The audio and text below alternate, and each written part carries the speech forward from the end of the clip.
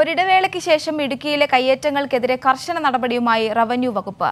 ചിന്നക്കനാലിൽ ആദിവാസി ഭൂമിയിലെ കയ്യേറ്റം ഒഴിപ്പിച്ച റവന്യൂ വകുപ്പ് ഏറ്റെടുത്തു. സ്വകാര്യ വ്യക്തികൾ കൈവശപ്പെടുത്തിയ ആദിവാസി പുനരധിവാസ പദ്ധതിയിൽ ഉൾപ്പെട്ട പതിമൂന്ന് ഏക്കർ സ്ഥലമാണ് റവന്യൂ വകുപ്പ് ഏറ്റെടുത്തത്.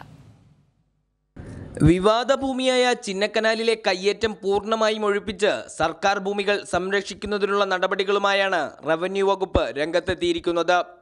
സ്വകാര്യ വ്യക്തികൾ കയ്യേറി കൈവശപ്പെടുത്തിയ ചിന്നക്കനാൽ താവളത്തിലെ ബ്ലോക്ക് നമ്പർ എട്ടിൽപ്പെട്ട റീസർവേ നമ്പർ നൂറ്റി എഴുപത്തെട്ടിൽ ഉൾപ്പെട്ട പതിമൂന്ന് ഏക്കറോളം ഭൂമിയാണ് ഒഴിപ്പിച്ചെടുത്ത് റവന്യൂ വകുപ്പ് ബോർഡ് സ്ഥാപിച്ചത്. എൽ സി മത്തായി കൂനമ്മാക്കൽ പാലം രാജ് മകൻ പി ജയപാൽ എന്നിവരാണ് കയ്യേറ്റത്തിന് പിന്നിൽ. മുൻപ് കയ്യേറ്റത്തിനെതിരെ നടപടികളുമായി എത്തിയ റവന്യൂ വകുപ്പിനെതിരെ കയ്യേറ്റക്കാർ സുപ്രീം കോടതിയെ സമീപിച്ചിരുന്നു.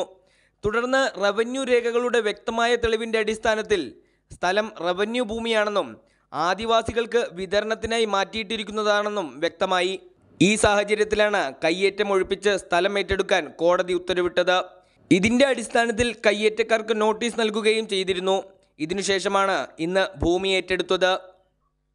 എൽ സി മത്തായി എന്ന് പറയുന്ന കക്ഷി എട്ട് പോയിന്റ് ഒമ്പത് ഏക്കറും പാൽരാജ് എന്ന് പറയുന്ന കക്ഷി നാല് പോയിന്റ് ഏഴ് ഏക്കറും അനധികൃതമായി കൈവശം വെച്ച് ഏലകൃഷി നടത്തി വരികയായിരുന്നു.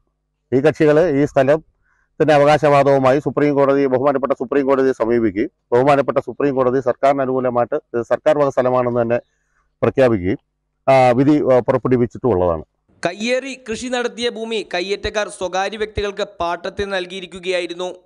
ഉടുമ്പൻചോല തഹസീൽദാർ സീമ ജോസഫ് ഡെപ്യൂട്ടി തഹസീൽദാർമാരായ ഹാരിസ് ഇബ്രാഹിം സന്തോഷ് കുമാർ എന്നിവരുടെ നേതൃത്വത്തിലാണ് ഭൂമി ഏറ്റെടുത്തത്.